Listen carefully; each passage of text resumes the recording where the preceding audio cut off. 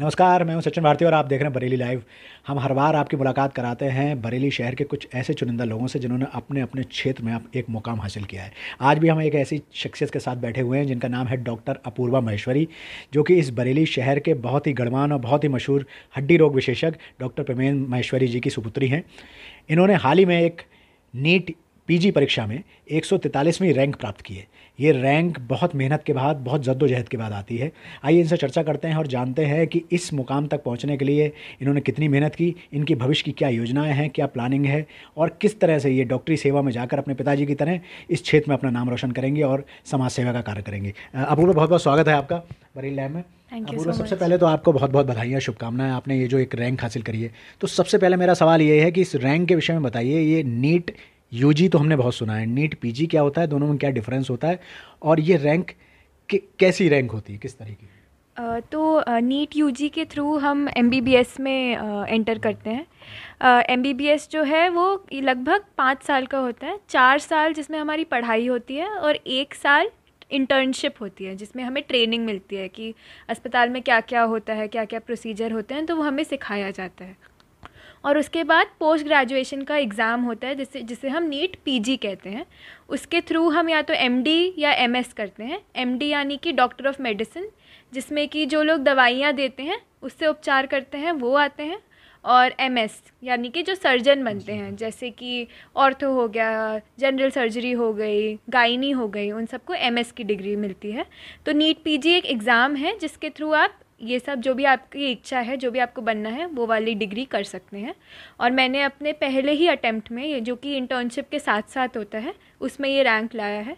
और बहुत अच्छा लग रहा है ये रैंक ला के तो हाँ। अच्छा अपूर्वा जैसे बरेली शहर है, बरेली चिकित्सा का गढ़ कहा जाता है। आपके पिताजी स्वयं एक बहुत अच्छे चिकित्सक हैं। और बरेली शहर में तमाम हॉस्पिटल्स हैं जहाँ लोगों की चिकित्सा होती है। चिक, हम लोग बरेल बी या बरेली अगर हम ये सोचें तो हमें हमेशा से ये लगता रहा कि बरेली में हॉस्पिटल्स बहुत हैं। लेकिन कहीं ना कहीं ये चीज़ हमसे चूक रही थी कि कहीं ना कहीं चिकित्सा की शिक्षा, यानी चिकित्सक शिक्षा जो है, या मेडिकल एजुकेशन जिसे हम कहेंगे, उसमें कुछ कमी है। तो आपको क्या लगता है कि अब मेडिकल एजुकेशन जो बरेली के अंदर चल रही है, और जिस तरह से बाहर लोग उसमें जाके पढ़ने जा रहे हैं तो इस का फ़ील्ड कितना उज्जवल है? मतलब क्या क्या चीज़ें इसमें हम आगे चलकर किस फ़ील्ड में जा सकते हैं, और कैसी चीज़ें हम इसको आगे भविष्य में प्राप्त कर सकते हैं? पहले तो मैं कहूँगी बरेली शायद बहुत ही कम शहरों में होगा जहाँ पे इतना मेडिकल एजुकेशन है। हमारे यहाँ तीन मेडिकल कॉलेज हैं, जहाँ पे एमबीबीएस और एमडीएमएस का डिग्री मिलता है। बहुत से आयुर्वेदिक कॉलेज हैं होम्योपैथिक कॉलेज हैं नर्सिंग कॉलेज हैं तो बिल्कुल बरेली सिर्फ़ एक मेडिकल हब नहीं, एक मेडिकल एजुकेशन का भी हब है।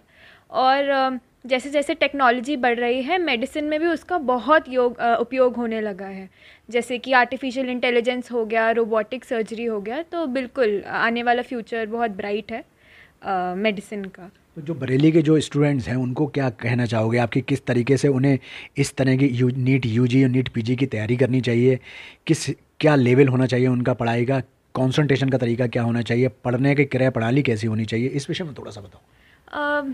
जो हम बोलते हैं ना कि मेहनत का कोई अल्टरनेटिव नहीं है, इसमें भी सेम ही लगता है। मेहनत करना बहुत ज़रूरी है। जिन्हें हम स्टैंडर्ड टेक्स्ट बुक बोलते हैं, उनका अपने एमबीबीएस में पढ़ना बहुत ज़रूरी है, जो कि मैंने किया था। मैंने पहले से ही हर दिन पढ़ाई की है, अपनी स्टैंडर्ड टेक्स्ट बुक सारी पढ़ी हैं। जो भी मरी, जो भी हम अपनी पोस्टिंग जहाँ जहाँ पर हम जाके मरीज़ देखते थे, वहाँ पर हमने मरीज़ों से बहुत सीखा है। तो ये सब करना बहुत ज़रूरी है। और ये एग्ज़ाम क्लियर करने के लिए लगभग 10 से 12 घंटे पढ़ना अनिवार्य है, पढ़ना ही पड़ेगा। और आप कॉन्फिडेंस रखिए, अपना एक ऑनेस्ट अटैम्प्ट दीजिए, बिल्कुल सारे एग्ज़ाम्स क्लियर होंगे।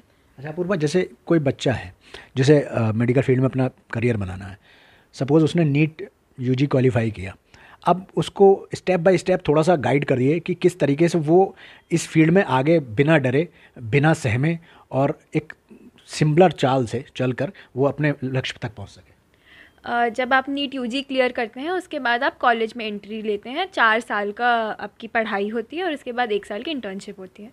तो पहले से ही, पहले दिन से ही आप पहले तो आप ये सोचिए कि आप डॉक्टर क्यों बन रहे हैं? आप मरीज़ों की सेवा करने के लिए बन रहे हैं। तो वो वाला, ये वो थॉट आपके दिमाग में हमेशा होना चाहिए कि मैं जिसकी भी सेवा करूँ, अपना बेस्ट दे पाऊँ। तो अपनी, उसके लिए अपनी किताबें पढ़ना अपने मरीज़ों से सीखना बहुत ज़रूरी है तो उस पर पूरा फुल फोकस होना चाहिए कि मैं अपनी पढ़ाई अच्छे से करूँ और जो भी मरीज़ मैं देखूँ उससे बात कैसे करनी है उसका उपचार कैसे होता है अच्छे से सीखूं। और फिर वही जितना भी सीखा चार सालों में अपनी इंटर्नशिप के समय जब आप मरीज़ों पे काम करना शुरू कर देते हैं आपको आपकी डिग्री मिल जाती है फाइनल ईयर पास कर लेते हैं वहाँ पे भी अपना पूरा मन लगाएँ सीखें डेडिकेटेड काम करें वापस आके उसकी पढ़ाई करें और वो सबसे आप फिर नीट पीजी की परीक्षा क्लियर करें और फिर आगे जाके अपनी ब्रांच सेलेक्ट करें। तो ये मेरी। किस तरह की हम इसमें बुकिश नॉलेज ले सकते हैं? देखो आज का समय इंटरनेट का युग है तो हमें बहुत सारी चीज़ें अवेलेबल हैं उस पर लेकिन कुछ दिग्भ्रमित करने वाली चीज़ें भी नेट पर मौजूद हैं। तो कैसे हमारा चूज़न रहे? किस तरह के बुक्स हम चुनें? किस तरह के हमें इंटरनेट से जो पढ़ाई करनी है जो नॉलेज लेनी है जो डॉक्यूमेंट्स लेने हैं या जो चीज़ें लेनी है वो कैसे लें? इसके विषय में थोड़ा सा बताइए क्योंकि जनरली बच्चे भटक जाते हैं वो कहीं कोचिंग तो करते हैं या कहीं पढ़ते भी हैं लेकिन जब स्वयं स्टडी करने बैठते हैं तो कुछ गलत दिशा में चले जाते हैं। तो उसको उसको कैसे हम क्लियर चीज़ कैसे लेके आएँ? पहले तो मैं वही कहूँगी कि अपनी जो भी आपकी कॉलेज है, वहाँ किताबें पढ़ाई जाती हैं, अपने एमबीबीएस के समय बहुत बच्चे ऐसा करते हैं कि इतना नहीं पढ़ते। एग्ज़ाम तो क्लियर कर लेते हैं नीट यूजी का, पर उसके बाद पढ़ना बंद कर देते हैं और सोचते हैं जब नीट पीजी की तैयारी करेंगे तब देखेंगे। पर ये बहुत अच्छा तरीका नहीं है, क्योंकि वो चार साल आपके फाउंडेशन के साल होते हैं, उसमें आप सबसे ज़्यादा सीखते हैं। तो ऐसा ना करें, अपनी पढ़ाई बिल्कुल शिद्दत से करें। और अब इंटरनेट दोनों ही चीज़ें देता है, आपको अच्छी बातें भी सिखाता है और आप अपना मार्ग भी खो सकते हैं। तो बहुत सारी ऐप्स हैं जिसमें पढ़ाई की, कराई जाती है और बहुत सारी ऐप्स हैं जिसके थ्रू आप फोकस मेंटेन कर सकते हैं। बहुत सारी टेक्निक्स हैं जैसे पोमोडोरो एक टेक्निक होता है कि इतने देर पढ़ें और फिर पाँच मिनट का ब्रेक ले लें। बहुत सारी चीज़ें होती हैं जिसके थ्रू आप अपना फोकस मेंटेन कर सकते हैं। और बस ये आ, मुझे जो लगता है कि पढ़ाई को कभी भी एक सेक्रीफाइस नहीं समझना चाहिए। ये हम्म। आप एक तरीका है आप अपना करियर बिल्ड कर रहे हैं तो आप कुछ पीछे नहीं छूट रहे हैं। वो मस्ती मज़ा मस्ती का समय बाद में भी आ सकता है लेकिन जो आपका आपके जीवन के जो वो आ, साल हैं जब आप अपना करियर बिल्ड करते हैं उस समय मेहनत करने से कतराइए ना। अपूर्वा ने जब मेहनत करी जब अपूर्वा ने एम अपना ख़त्म करा और फिर नीट पीजी की तैयारी की वो समय जो था उसमें आपका थॉट क्या थे और किस तरीके से आपका फोकस हो किस तरीके से था जो आपने अपनी तैयारी करी? नहीं मेरा फोकस बहुत क्लियर था कि मुझे एक अच्छी सीट निकालनी है अपनी मन चाही ब्रांच निकालनी है क्योंकि ब्रांच बहुत आपका डिसाइड करता है आगे चलने वाली लाइफ का। तो मैं जहाँ कहूँगी जहाँ जितना मेरा योगदान मैं जितना मैंने किया उससे ज़्यादा शायद मेरे पेरेंट्स ने किया है कि हमेशा मुझे मोटिवेट किया। कोई और एक्सपेक्टेशन नहीं थी मेरे से बस ये थी कि मैं अपनी पढ़ाई पूरी मन लगा के करूँ और उन्हीं की वजह से जो आज रैंक आया है मैं अपना रैंक उन्हीं को तो क्या मेन गाइडलाइन कौन सी थी? वो कौन सी मंत्र था जो डॉक्टर साहब ने आपको दिया अपने विशेष विशेष तौर पे आपको दिया? कि कर्म करते जाना है फल की चिंता नहीं करनी अपना बेस्ट अटेम्प्ट देना है और बस हाँ यही था कि अपना जितना बेहतर कर सकते हो, अपना पूरा अटेम्प्ट दो और बाकी सब ईश्वर पे छोड़ दो। तो एक चीज़ और पूछूँगा मैं इससे थोड़ा सा इतर, जब जब हमारे पेरेंट्स किसी फ़ील्ड में होते हैं और हम उस फ़ील्ड में उतर रहे होते हैं नए नए तो हम पर एक अलग तरीके का बर्डन होता है। वो बर्डन अपूर्वा कैसे लेकर चली? शुरू से, बचपन से और अब क्या लगता है कि उनकी जो एक्सपेक्टेशन का लेवल था, वो वहाँ तक अपूर्वा कितना पहुँच पाई? पहले तो बर्डन नहीं था हमेशा इंस्पिरेशन था कि बर्डन नहीं है उनकी तरह बनना है। तो कभी मैंने उसको एक बर्डन के रूप में नहीं लिया। और हमेशा कभी भी किसी भी चीज़ में दिक्कत होती थी तो मेरे पेरेंट्स हमेशा होते थे बताने के लिए कि ऐसे कर लो या ये सही तरीका है या कभी कोई क्वेश्चन भी नहीं समझ में आता था स्पेशली ऑर्थो या गाइनी में तो मैं अपने मम्मी पापा को रेफ़र कर लेती थी। तो कभी मुझे बर्डन फील नहीं हुआ। हमेशा मेरी जो पूरी फैमिली बैकग्राउंड है वो डॉक्टर्स की है। तो हमेशा इंस्पिरेशन मिली है। ऐसा कभी कोई बर्डन नहीं लगा। अच्छा अपूर्वा अब जैसे आपने ये इसमें पास के लिया अपना नीट पीजी अगला कदम क्या होता है? मतलब इसमें थोड़ा सा क्लियर ये करिए उन नए बच्चों के लिए कि अब अब आपने ये कर लिया अब इसके बाद स्टेप बाय स्टेप क्या चीज़ें होती हैं वो थोड़ा सा क्लियर करके बताएँ तो नीट पीजी के एग्ज़ाम लिखना होता है। उसमें इस बार लगभग कितने two fifty two lakh fifty thousand लोग बैठे हैं। और सत्तर हज़ार के अराउंड सारी सीट्स हैं, जिसमें से तीस हज़ार के अराउंड गवर्नमेंट का सीट है। तो पहले ये एग्ज़ाम देना होता है, वो क्लियर किया आपने, आपकी एक रैंक आई।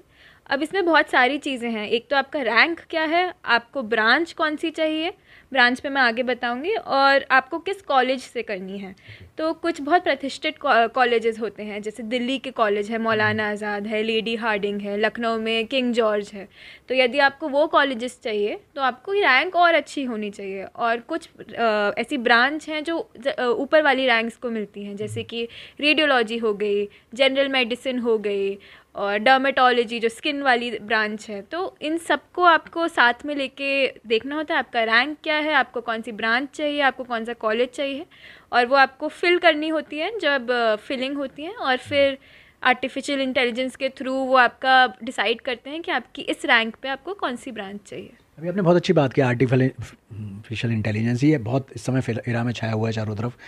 ये और एक रोबोटिक्स कई जगह हमने ये पढ़ने में आता है कि रोबोट्स वगैरह भी इस पर काम कर रहे हैं मेडिकल फ़ील्ड में काम कर रहे हैं।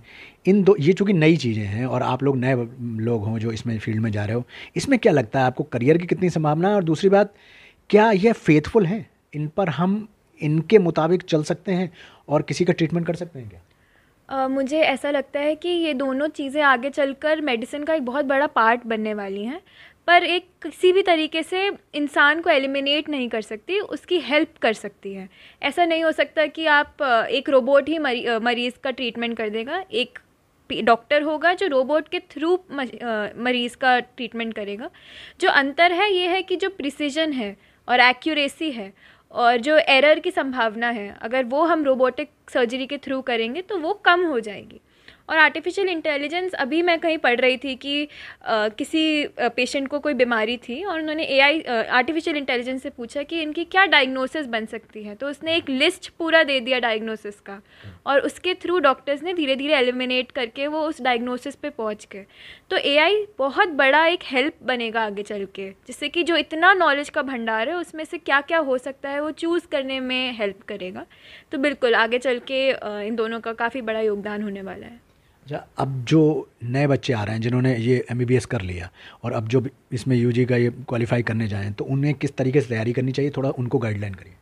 मैं यही कहूँगी कि पहले दिन से पढ़ाई कीजिए। आप जब पहला सब्जेक्ट जो हम पढ़ते हैं वो अनाटमी होता है, जिसमें कैडेवर होता है, यानी कि वो बॉडी से सीखना होता है। वहाँ से अपनी जो तैयार जो सीखना है, वहाँ से शुरू करिए। जब आप अस्पताल जाएँगे, आप मरीज़ देखेंगे तो मरीज़ों को ऐसे देखिए कि आगे चल के आपको इन्हीं का ट्रीटमेंट करना है तो उनको, उनसे बात कैसे करनी है, उनमें क्या क्या बीमारियाँ होती हैं, जाकर अपने जो भी आपको पढ़ाते हैं प्रोफेसर उनसे सीखिए, अपनी किताबें पढ़िए। और हमेशा ये सोच के करिए कि आगे चलकर आपको एक डॉक्टर बनना है, आपके पास कोई मरीज़ आए तो आप उसका अच्छे से ट्रीटमेंट कर पाए। क्या चीज़ है जो अपूर्वा को मोटिवेट करती है दुनिया में सब लोग? जैसे आपके पिताजी भी कई लोगों को मोटिवेट करते हैं, कई लोगों के इंस्पिरेशन है। आपको क्या चीज़ मोटिवेट करती है? आपने प्रकृति से क्या चीज़ सीखी? आपने परिवार से क्या चीज़ सीखी? आपने संस्कारों से क्या चीज़ सीखी? आपने वातावरण से क्या चीज़ सीखी? जैसे मेरे पापा और लोगों को मोटिवेट करते हैं, मुझे भी मोटिवेट करते हैं तो उनसे, उनका काम देख के और उनका जो जो इतना सोशल वर्क करते हैं, उससे मैंने बहुत कुछ सीखा। और मेरी फैमिली है, मैं एक डॉक्टर्स की फैमिली से आती हूँ, उन्होंने कितना योगदान दिया है, उससे बहुत कुछ सीखा। और बस यही कहूँगी कि उन्हीं की तरह बन पाऊँ और आगे चलकर सोसाइटी के लिए काफ़ी कुछ कर पाऊँ, अपने सिटी बरेली के लिए कुछ ना कुछ कर पाऊँ, और यही। कितना नोबल प्रोफेशन मानती हैं आप? चिकित्सा क्षेत्र में बहुत नोबल प्रोफेशन है। अगर बोलते हैं कि सेकंड टू गॉड है तो ये बिल्कुल सच्चाई है। आप इतने साल पढ़ाई करते हैं दस से पंद्रह साल की पढ़ाई करते हैं उसके बाद जाकर आप मरीज़ों को ठीक करते हैं उनकी दुआएँ लेते हैं तो इससे ज़्यादा नोबल प्रोफेशन शायद ही कोई और होगा। तो अब रैंक आपकी आ गई। अब आगे आपके कदम क्या होंगे? अब किस कैसे जाओगे? किस फ़ील्ड में जाओगे? कैसे स्पेशलाइजेशन करना का अभी जो मैंने सोचा है कि मुझे रेडियोलॉजी में काफ़ी दिलचस्पी है तो मैं रेडियोलॉजी के फ़ील्ड में जाना चाहूँगी। और आगे चल के ये चाहूँगी कि कम से कम चीड़ा फाड़ी वाला जो कोई प्रोसीजर्स होते हैं, कम से कम हो और मैं ऐसा कुछ कर पाऊँ कि एक तो आर्टिफिशियल इंटेलिजेंस के फ़ील्ड में कुछ रिसर्च करूँ या ऐसा कुछ करूँ जिससे कि कम से कम चीड़ा फाड़ी वाले प्रोसीजर से हम अच्छे रिज़ल्ट दे पाए। अपूर्वा, बहुत अच्छी बात है कि आपको हमें भविष्य के लिए हम लोग आपको शुभकामना देते हैं। ये थी अपूर्वा महेश्वरी जो हमें ये बता रही थी कि तकरीबन ढाई लाख बच्चे बैठे थे इस बार नीट पीजी में। और उसमें से साठ हज़ार साठ इकसठ हज़ार तकरीबन सीटें होती हैं गवर्नमेंट और प्राइवेट मिलाकर जिसमें तीस हज़ार गवर्नमेंट की सीटें होती हैं। उनमें इस पूरी रैंकिंग में थे यानी ढाई लाख लोगों में से एक सौ रैंक अपूर्वा की आई है। अपूर्वा को अवश्य कोई एक अच्छा कॉलेज मिलेगा ऐसी हमारी शुभकामनाएँ हैं लेकिन अपूर्वा आगे चलकर भविष्य में सोशल वर्क के माध्यम से चिकित्सा क्षेत्र के माध्यम से कुछ अलग और अनोखा करेंगी इसकी हमें इंतज़ार